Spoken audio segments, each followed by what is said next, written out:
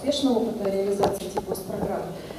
Что хочется сказать от банковского сообщества бизнесу, что на сегодняшний день, в принципе, уже не модно э, банкам э, начинать э, с работу с кредитованием в плане обычного коммерческого кредитования. И здесь банки, как правило, зачастую берут на себя роль именно подбора этих госпрограмм и определенного провайдера между соответствующими, соответствующими ведомствами и э, конкретной э, теме кредитования конкретного бизнесмена. То есть банки сами проводят чек-лист и определяют, что э, в данном случае э, подходит э, данному конкретному предприятию или ИП. Эм, и э, сейчас вот меня Бахтигаряна тоже ответ, э, сказала о том, что Татарстан, э, наш Татарстан занял первое место по реализации программ. И кратенько я дам обратную связь именно о э, интересных программах и цифрах по ней. Ну, одна из э, наиболее успешно зарекомендовавших себя госпрограмм это постановление 1706, которое было э, действовало в прошлом году с конечной ставкой для э, заемщика 6,5%. И хочу обратить внимание бизнесменам, что не все госпрограммы зачастую просто с логики проводят инвестиционным кредитованием. Эти э, госпрограммы направлены и на финансирование обычной текущей деятельности, связанной с финансированием оборотных средств предприятий. Поэтому не нужно думать, что здесь только инвестиционные проекты могут подпадать под ту или иную программу. А, в частности, нашим банком по Татарстану за прошлый год заключено 23 договора на сумму 1,4 миллиарда рублей. Но это заслуги прошлые. На сегодняшний день а, трансформация... Да-да-да. Там наглядно по цифрам можно...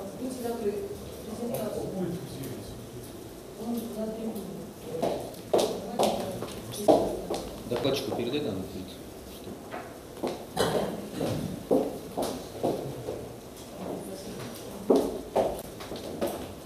В текущих реалиях эта программа трансформировалась в постановление 1764, да, ставка немного больше, но она, а, тем не менее, интересна на сегодняшний день в рамках той ключевой ставки, которая действует э, у нас.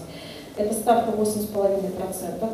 Э, э, в эту программу внесено в, текущих, в текущем времени достаточно много изменений в том числе снижение минимальной суммы возможного кредитования до 500 тысяч рублей. То есть не нужно думать, что госпрограмма э, предназначена для каких-то якорей, больших, э, больших организаций и так далее. То есть это, в принципе, возможно и для ИП. У нас практика финансирования индивидуальных предпринимателей она тоже есть. Ну вот э, на сегодняшний день э, это постановление декабря 2018 года, и в этом году у нас только заключено на 400 миллионов рублей. Вот, но заявки в работе есть по, по мере существования этого постановления. Э, клиентов э, интерес растет, поэтому, в принципе, как еще раз озвучила, банки сами, э, чем отличаются современные госпрограммы от тех, которые действовали раньше. То есть сначала бизнес финансировался по коммерческой ставке, затем шли в соответствующие ведомства, ведомства Минпромторг, Минэк и так далее. И там нужно было еще проводить сбор пакет документов и доказывать соответствие тому или иному постановлению. Сейчас банки на себя взяли эту функцию и сразу финансируют вас по льготной ставке, и взаимодействие с соответствующими ведомствами и министерствами осуществляется непосредственно банком. То есть бизнесу нужно коммуницировать только со своим кредитным аналитиком. Одна из э, тоже ключевых э, программ для нашей, для нашей территории Татарстан, это постановление 1528. Здесь финансирование идет для сельхозтоваропроизводителей и переработчиков. Тут ставка не более 5%, но обращаю внимание, что 5% э, это максимальная ставка, то есть финансирование есть и 2, и 3%, то есть это нужно в зависимости от успешности проекта и рейтинга самого заемщика. Одна из э, интересных программ – это фонд развития промышленности. Банки также взаимодействуют, то есть вам не нужно обязательно э, на ресурсах искать всю информацию и завешивать эту заявку. Банки вам помогут в этом вопросе. Вы просто озвучиваете цель, и дальше одни из наиболее интересных программ – это проекты развития и комплектующие изделия, которые характерны для Республики Татарстан с нашим машиностроительным кластером. Там ставка заявляется от 1% до 5%. И э, коротко значит, расскажу про инструмент, который не относится так, напрямую к госпрограммам, но интересен для бизнеса, и не все про это знают. Это налоговая гарантия в рамках заявительного порядка возмещения НДС. Все знают и боятся на самом деле, э, и делают э, какие-то манипуляции, чтобы хоть рубль в уплате э, в отчетном периоде был. Вот, поэтому здесь бояться не нужно. Есть такой инструмент, как банковская гарантия, которая помогает ускорять возмещать НДС в течение 10 дней с даты подачи декларации. Здесь тоже вам банкиры помогут разобраться в этом инструменте. И особенно интересно это для тех, кто э, работает с нулевой ставкой НДС и э, по инвестпроектам. Меня все.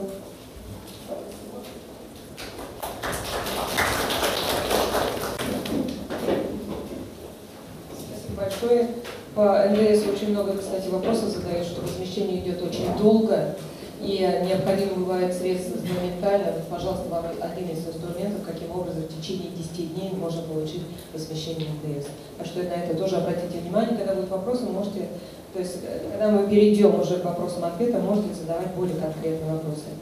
Так, и следующее у нас выступление – это генеральный директор региональной лизинговой компании Республики Татарстан Равиль Раидович Сиразиев, который расскажет о лизинговых программах.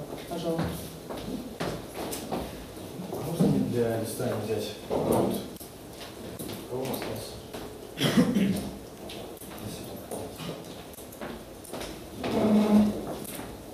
Коллеги, да, хотелось представиться. Зовут меня Равис Разеев, я являюсь генеральным директором э, региональной визит компании Республики Татарстан.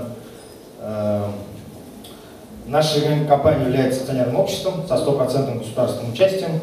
Э, значит, ну, в первую очередь мы являемся институтом поддержки предпринимательства, и на это как бы сделать самый главный акцент. Мы были созданы первыми среди всех четырех РЛК, которые существуют у нас в России.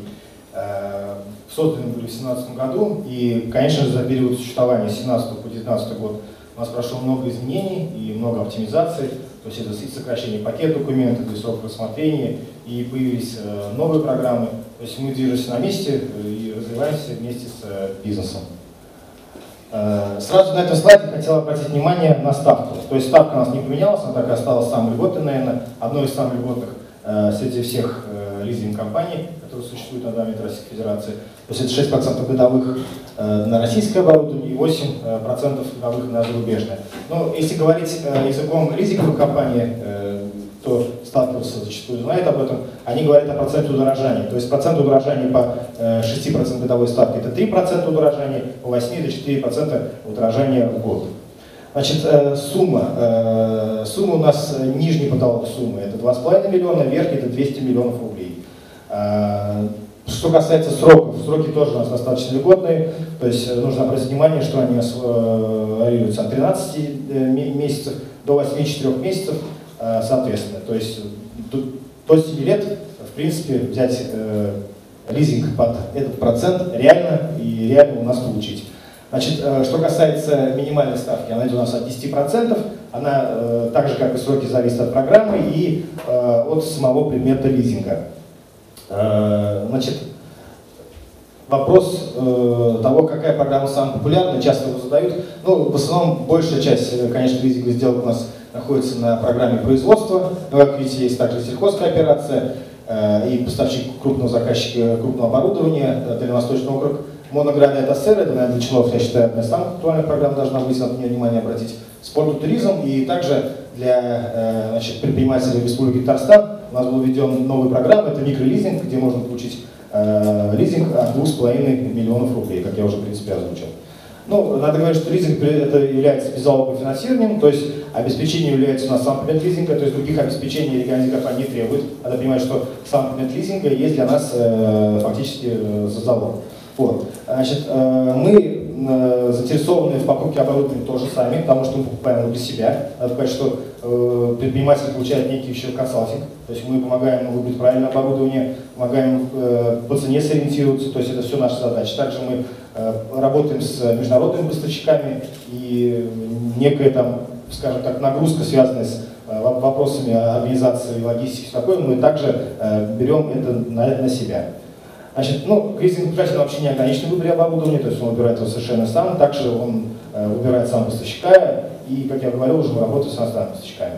Значит, э, есть интересная, э, скажем так, фишка в том, что мы э, начинаем, э, скажем так, требовать э, лизинговые платежи текущие с предпринимателя только после того, как факт оборудование, то, что он поставлен, мы зафиксируем. То есть у нас ехали наши коллеги, увидели, что оборудование есть наличие у вас на производстве, что Э, с ним все нормально. И даже после этого мы даем еще 30-дневную отсрочку для того, чтобы его распаковать, привести некий инжиниринг, чтобы оно начало работать. И только после этого мы уже начинаем как бы, работу, связанную с э, текущим лизинговым э, платежами. Э, также лизинг-получатель может выбрать свой график э, платежей, то есть она понимает, что есть э, сезонная работа, там, ну, как пример, не знаю, там, продажа каких-то, там, не знаю, мороженого, предположим, да, то есть понятно, что есть момент, когда идет значит, бизнес как бы находится в сезонном да, раскрутке, идет большая оборотка. То есть в, в этот момент еще, я прошу еще больше времени, не, не пообещал брат. Вот, то есть, как бы, эта возможность именно в части графика тоже имеется, и мы идем на встречу в отношении с предпринимателем. Значит, э, что касается двух факторов, обратите внимание, что, конечно же, они есть, мы не финансируем дорожный транспорт, да, и э, как бы другие, мы не финансируем оборудование, которое было в бывшем потреблении, но э, сразу хочу сказать, что сейчас у нас уже вступил э, в свою стартовую фазу коммерческий лизинг от 13,5%, так что, в принципе, все это э, можно включить так же, как и любой коммерческий лизинг, у нас в том числе, если это э, связано именно по тем 100 факторам. Обычно, как пример, мы привозим, э, значит, э, приводим такой вот некий лист сравнения, связанный с другими лизинг-компаниями. Вот, если исходные данные, предположим, такие, что э, значит, стоимость значит, предмета лизинга у нас так 10 миллионов рублей, а у вас стоит 20%, вот, берется на, 3, на 36 месяцев, предположим, ну, или, как есть пример, тут на 60 месяцев, в том числе. Вот. Какая возникает разница? То есть видите, что размер среднемесячного платежа у нас э, с этими же исходными данными меньше, у нас отсутствует э, комиссия однопроцентная, которую закладывает э, другая компания коммерческая. То есть, видите, если эффективные ставки на 6 годовых, то продаж, на, на данный же продукт рыночная ставка будет, скорее всего, 18 годовых. Вот, удорожание в год у нас 3, у ну, среднеспичечной лизинг-компании это почти 10%. И вот и итог, стоимость годового лизинга Э, по факту региональной лизинг-компании это 11 миллионов с половиной, а рыночная лизинг-компания это почти 15 миллионов рублей. То есть ну, реальный эффект удорожания, который показывает, что все-таки лизинг-компания РЛК является ну, достаточно выгодной для сотрудничества. Ну и вкратце, что требования лизинг-получателя у нас достаточно э, традиционные. Э, значит, это 209 федеральный закон, это величина дохода до 800 миллионов рублей, среднеспичительность до 100 человек, срок регистрации не менее 12 месяцев. Также есть возможность структурировать сделку с крупным бизнесом, то есть где лизинг-участник будет являться малая компания, а получителем уже и все, как бы, все ответственность ложится уже на крупный бизнес. Ну, если в конце хотелось всех пригласить для сотрудничества, находимся мы на адресу Петербургская 28, э, телефон у нас, видите, э, есть э, на экране. Наша команда готова обсудить с вами любые, скажем так, Э, контракты сделать. Спасибо, готов ответить на все ваши вопросы. Спасибо. Очень интересная программа. Лизинг под 6%, годовой с удорожанием 3%. Это, по-моему, все-таки на рынке очень редкий случай. И, конечно же, надо воспользоваться, кому это необходимо, обязательно услугами данной, данного, данной лизинговой компании. Дальше тоже о лизинге немножко, наверное, как привлечь деньги в бизнес через лизинг.